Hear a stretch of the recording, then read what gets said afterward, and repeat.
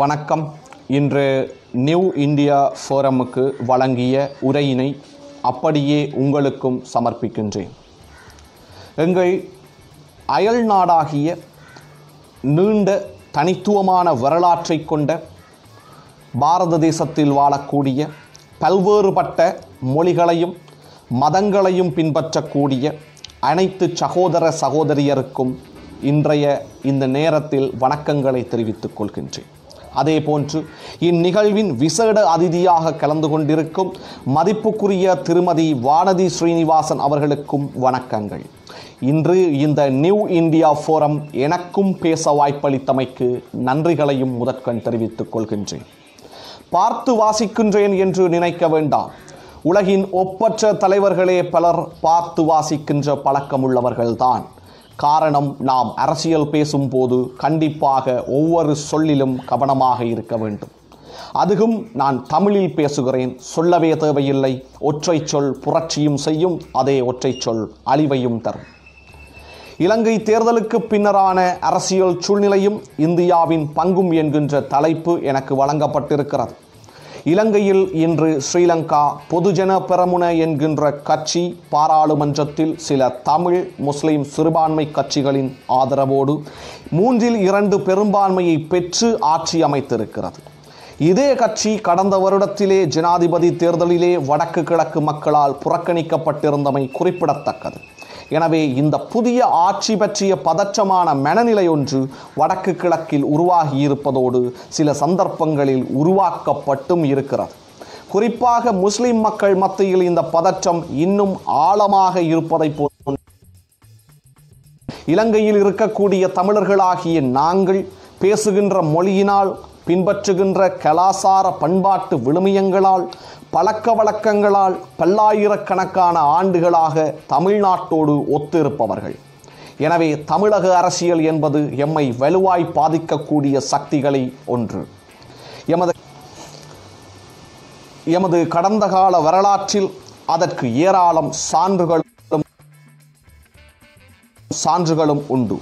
கடந்த காலத்தில் இந்தியாவை ஆட்சி செய்த காங்கிரசும் திராவிடக் கழகங்களும் ஆயுத போராட்டம் ஒன்றுக்கான சூழல் தமிழர் தாயகத்திலே உருவாகியிருந்த சந்தர்ப்பத்தில் எப்படி தமிழ் இளைஞர்களுக்கு பாரபட்சத்தோடு ஆயுதத்தை வழங்கி அவர்களுக்கு இடையில் மோதல்களை ஏற்படுத்தி தாங்கள் அரசியல் லாபம் அடைந்தார்கள் என்பதையும் இறுதி யுத்தத்தின் இறுதி நாளில் பேரவலங்கள் நிகழ்ந்த போதும் அதை தடுக்கக்கூடிய அதிகாரத்தோடு இருந்தபோதும் அதை தடுத்து நிறுத்தாமல் அவர்கள் எப்படி மௌனமாக இருந்தார்கள் என்பதையும் இந்த உலகம் அறியும்.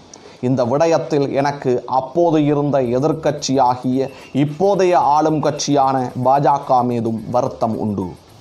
எப்படி என்று எப்படி அன்றைக்கு ஆயுத குழுக்களுக்கு எங்களுடைய ஆயுத விடுதலை குழுக்களுக்கு இடையிலே பிரிவினைகளை ஏற்படுத்தி ஆயுத போராட்டம் சவால் மிகுந்ததாக மாற்றப்பட்டதோ அதை போன்றே இன்றும் தமிழர் தாயகத்தில் உள்ள தமிழ் கட்சிகளுக்கு இடையிலும் தமிழ் கட்சிகளுக்கு உள்ளே இருக்கின்ற தமிழ் அரசியல் தலைவர்களுக்கு இடையிலும் பொதுவெளியிலேயே ஏராளம் பிரச்சனைகள் உள்ளது.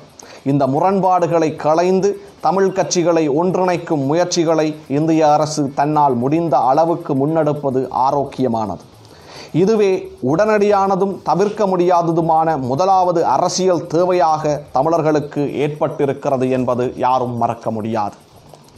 ஈழத்தமிழர்களில் ஏராளமானோர் தமிழகத்தில் உள்ள அகதி முகாம்களில் ஏராளம் கஷ்டங்களை அனுபவித்தபடி வாழ்கிறார்கள். அகதி என்பது ஒரு அந்தஸ்து அல்ல அது சுயகௌரவத்துக்கு இலக்கானது. இன்றும் இலங்கையின் வடக்கு கிழக்கில் ஏராளமான காணிகள் யாருமற்ற அனாதை நிலங்களாக உள்ளன. அவற்றில் எங்களுடைய இந்திய அகதி முகாமிலே இருக்கின்ற ஈழத்தமிழர்களை முற்றாக அழைத்து வந்து அவர்கள் தாயகத்தில் குடியேற உதவி செய்ய வேண்டும். தங்கள் மண்ணில் தாராளமாக விவசாயம் செய்யவும் எங்கள் மண்ணில் தாராளமாக விவசாயம் செய்யவும் எங்கள் கடல்களில் தாராளமாக தொழில் செய்யவும் முடியும். எனவே அவ்வாறு குடியேற வாய்ப்பளிப்பதோடு வாழ்வாதாரத்துக்கும் வழி செய்து கொடுக்க வேண்டும்.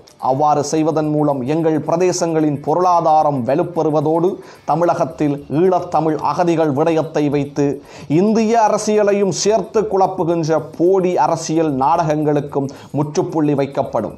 அதையெல்லாம் தாண்டி தமிழர் தாயகத்தில் நிகழும் அத்துமீறிய குடியேற்றங்களையும் முடிந்த அளவில் தடுக்க முடியும். ஈழத்தமிழர்களாகிய எங்களுக்கு இந்த மண் ஒரு வரலாற்று வாழிடம் ராமாயணம் முதலிய இதிகாசங்கள் சிவபக்தன் ராவணன் என்ற இலங்கை மன்னன் பற்றி கூறுகிறது. சோழரின் ஆட்சியும் பாண்டியரின் தொடர்பும் கூட இலங்கைக்கு உண்டு. இன்றும் கண்டிராஜ்ய பகுதிகளில் நாயக்க வம்சத்தின் தொடர்ச்சியை நீங்கள் காணலாம். இப்படி இருக்க இன்று எங்களுடைய வரலாற்று சான்றுகள் கூட பெரும் அச்சுறுத்தல் நிலைக்கு ஆளாகி இருப்பது வேதனை அளிக்கிறது. இந்து மதத்தின் காவலரன் என்று கூறப்படுகின்ற பாஜக இந்தியாவை ஆட்சி செய்து வருகின்ற காலப்பகுதியில் இந்திய துணைக்கண்டத்தின் பிராந்தியத்தில் இந்திய செல்வாக்கை மீறி இயங்குவது சவாலாக இருக்கின்ற ஒரு சிறிய தீவில் கோயில்களின் இருப்புகள் கூட கடந்த காலத்தில் சவால்கள் மிகுந்ததாக இருந்தது. இனிவரும் காலங்களில் அப்படியான ஒரு துரதிர்ஷ்ட நிலை ஏற்படக்கூடாது என்பது என்னுடைய வேண்டுகோள். ஏற்கனவே சிறுபான்மை சமூகங்களை திருப்திப்படுத்தும் வகையில் அமையாத ஒரு அரசியல் யாப்பிலே. ஓரளவுக்கு ஏனும் சிறுபான்மையினரை திருப்திப்படுத்தும் வண்ணம் அமைந்த பதிமூன்றாம் மற்றும் பத்தொன்பதாம் சீர்திருத்தங்கள் மீண்டும் சீரமைக்கப்பட்டு உருவாக்க இருக்கின்ற இந்த இருபதாவது சீர்திருத்தத்தினால் சிறுபான்மை இனத்தவருக்கு ஏற்பட இருக்கின்ற சாதகமான பாதகமான தன்மைகள் குறித்து இந்தியாவின் அழுத்தம் கண்டிப்பாக இருக்க வேண்டும் என்று வேண்டுகோளை முன்வைக்கின்றேன். கடந்த கால ஈழ யுத்தங்களினால் ஏற்பட்ட தமிழர் தரப்பு இழப்புகள் என்பது யாவருக்கும் தெரியும். இறந்தவர்கள் கூட நிம்மதியாக இறந்து விட்டார்கள். ஆனால் கைகள் உடல் பாகங்கள் இழந்தும் செயலிழந்தும் நடைபெணமாய் வாழ வழியின்றி அந்தரிக்கும் முன்னாள் போராளிகளும் பொதுமக்களும் இன்னும் இருக்கிறார்கள். எல்லா பிள்ளைகளையும் யுத்தத்தில் இறக்க கொடுத்துவிட்டு தனியாய் தவித்து பிச்சை எடுத்து பிழைப்பு நடத்தும் நிலையில் வயோதிப பெற்றோர்கள் இருக்கிறார்கள். அவர்களுக்கான ஒரு மாதாந்த ஓய்வூதிய திட்டத்தினை உருவாக்க வேண்டும் என்பதே நானும் தனிப்பட்ட ரீதியில் இலங்கை அரசாங்கத்திடமும் முன்வைக்கின்ற ஒரு கோரிக்கையாகும். இதற்கான மேலதிக முன் இலங்கை அரசாங்கம் முன்னெடுப்பதில் இந்திய அரசு அக்கறை செலுத்த வேண்டும். இந்திய கடலோர எல்லைகளுக்கு ஊடாக கடந்த காலத்தில் அதிகளவான போதைப்பொருள் கடத்தல்கள் இலங்கைக்கு நடைபெற்றிருந்தது.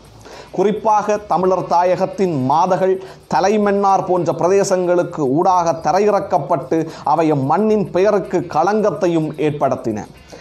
இதன் தொடர்ச்சியாக தமிழ் இளைஞர்கள் மத்தியிலும் பிரபல பாடசாலை மாணவர்களுக்கு மத்தியிலும் திட்டமிட்ட வகையில் போதைப்பொருள் பாவனை திணிக்கப்பட்டது.